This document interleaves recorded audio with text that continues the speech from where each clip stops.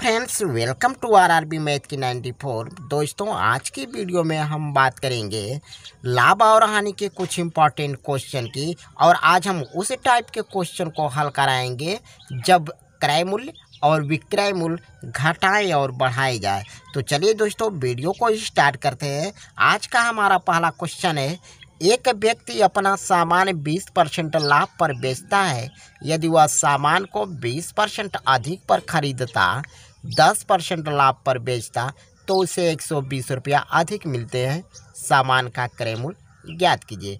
ऐसा क्वेश्चन दोस्तों जब भी एग्ज़ाम में आए तो हम कैसे बनाएँगे? इसके लिए दोस्तों हमें एक ट्रिक याद रखना होगा। ध्यान दीजिएगा। ट्रिक क्या है? सी पी बराबर सी पी बराबर अधिक या कम गुणे दस हज़ार बटे में सौ कोष्टक में सौ प्लस माइनस यक्स माइनस सौ प्लस माइनस वाई, दूसरे कोष्टक में सौ प्लस माइनस जेड। इस ट्रिक को दोस्तों हमें याद रखना होगा। और इसी ट्रिक पे ये क्वेश्चन सॉल्व होगा।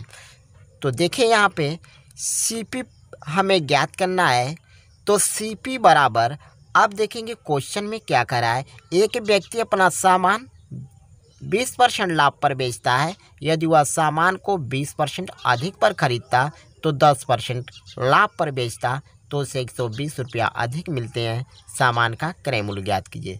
यहाँ पे देखिए, जो अधिक दिया है तो अधिक कहाँ पे दिया है? ये दिया है। एक सौ बीस रुपया अधिक मिलते हैं तो हम यहाँ पे क्या लिखेंगे? एक सौ बीस रुपया। गुड़े में दस हज़ार, हमें दस हज़ार यहाँ पर लिख देना है। बटे सौ सौ लिखेंगे। गुड़े में यहाँ पे बीस परसेंट लाभ होता है तो इसको हम लिखेंगे एक सौ बीस। माइनस लिखेंगे और ये बीस परसेंट अधिक पर ख़रीदता तो इसको भी हम लिखेंगे एक सौ बीस गुड़े में। यहाँ दस परसेंट लाभ पर बेचता तो इसको लिख देंगे एक सौ दस लिख देंगे। ठीक है? अब इसको हम हल करेंगे। तो यह एक सौ बीस गुड़े दस हज़ार बटे गुड़ा करेंगे तो कितना हो जाएगा? बारह हज़ार हो जाएगा माइनस। इसका इसमें हम गुड़ा करेंगे तो तेरह हज़ार दो सौ हो जाएगा। ठीक है? अब क्या करेंगे कि इसके बीच का हम अंतर कर लेंगे। तो यहाँ पे हम लिखते हैं एक सौ बीस गुड़े दस हज़ार बटे में अंतर करेंगे यानी तेरह हज़ार दो सौ में से बारह हज़ार घटाएँगे तो कितना बचेगा? बारह सौ बचेगा। अब यहाँ से हम दो ज़ीरो से दो ज़ीरो कटा लेंगे और बारह से काटेंगे तो बारह एक कम बारह, यानी दस हुआ। कितना बचा यहाँ पे? एक हज़ार बचा। तो एक हज़ार दोस्तों हमारा राइट आंसर होगा। तो दोस्तों मुझे उम्मीद है कि आप इस क्वेश्चन को अच्छे से समझ गए होंगे। तो चलिए अब नेक्स्ट क्वेश्चन देखा जाए। अगला क्वेश्चन है, एक व्यापारी अपना सामान 20 परसेंट लाभ पर बेचता है, यदि वह सामान को 10 परसेंट पर खरीदता और 25 परसेंट लाभ पर बेचता तो उसे चौदह रुपया अधिक मिलते हैं। सामान का क्रय मूल्य, ज्ञात कीजिए क्वेश्चन में आपसे ये पूछा है। तो दोस्तों, हम बता दिए हैं कि सीपी बराबर होता है अधिक अधिक या कम गुड़े में दस हज़ार बटे में सौ कोष्टक में सौ प्लस माइनस यक्स माइनस सौ प्लस माइनस वाई कोष्टक में सौ प्लस माइनस जेड इसी ट्रिक पे तो हम हल करेंगे। अब इसमें सीपी पूछ रहा है, यानी क्रय मूल्य ज्ञात करना है। तो यहाँ पे हम लिखेंगे सीपी बराबर अधिक कितना है? तो चौदह रुपया अधिक है। तो यहाँ पे चौदह लिखेंगे। गुड़े में दस हज़ार बटे सौ गुड़े यहाँ पे देखेंगे कितना परसेंट का लाभ पर बेचता है तो बीस परसेंट के लाभ पर बेचता है। तो हम इसको एक सौ बीस लिखेंगे, माइनस। या दस परसेंट अधिक पर खरीदता तो यहाँ पे एक सौ दस लिखेंगे गुड़े पच्चीस परसेंट लाभ पर बेचता तो इसको लिखेंगे एक सौ पच्चीस। ठीक है? अब देखिए, अब यहाँ पे चौदह गुड़े दस हज़ार एक बार लिखेंगे। यहाँ से गुड़ा करेंगे तो कितना हो जाएगा? यह बारह हज़ार रुपया हो गया। यह बारह हज़ार हो गया माइनस। इसका हम इसमें गुड़ा करेंगे तो कितना हो जाएगा? तेरह हज़ार सात सौ पचास हो जाएगा। तेरह हज़ार सात सौ पचास। तो चौदह गुड़े दस हज़ार बटे इसके बीच का हम अंतर कर देंगे तो सत्रह सौ पचास हो जाएगा।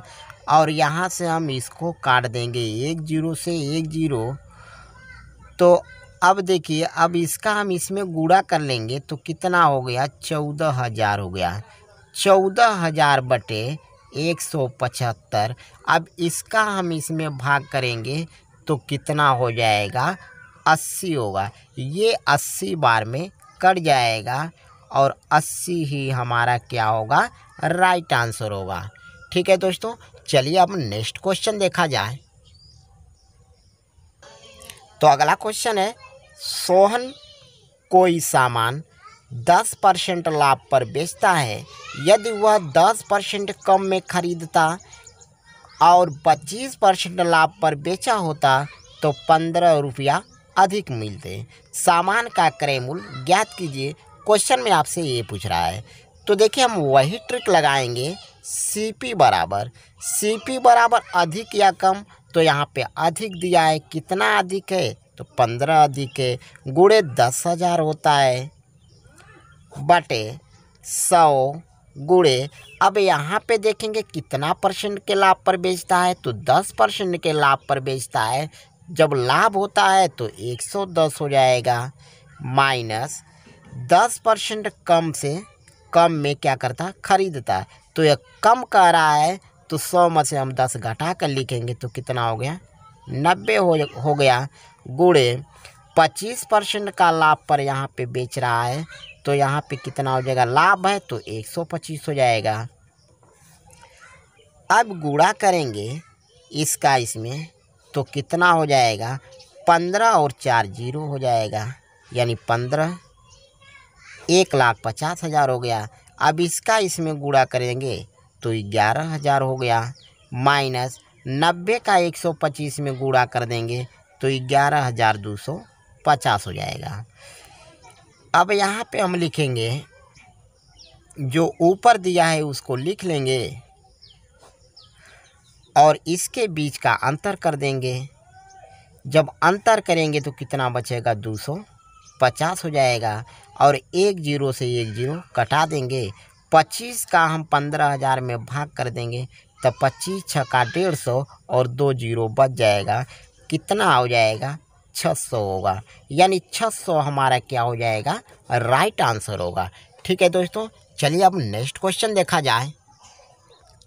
तो अगला क्वेश्चन है एक व्यापारी अपना सामान तीस परसेंट लाभ पर बेचता है। यदि वह बीस परसेंट कम पर सामान खरीदता और उसे चालीस परसेंट लाभ पर बेचता तो उसे एक सौ चौवालीस रुपया कम मिलते। सामान का क्रय मूल्य ज्ञात कीजिए। अब यहाँ पे कम दिया है।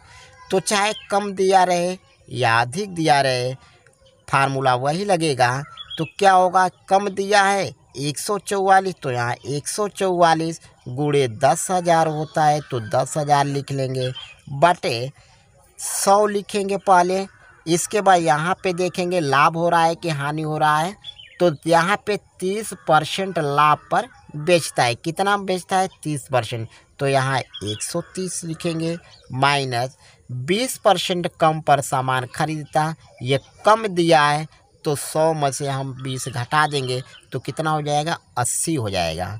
गुड़े यहाँ पे चालीस परसेंट लाभ पर बेचता तो लाभ दिया है तो यहाँ पे हम क्या लिखेंगे? एक सौ चालीस लिख लेंगे।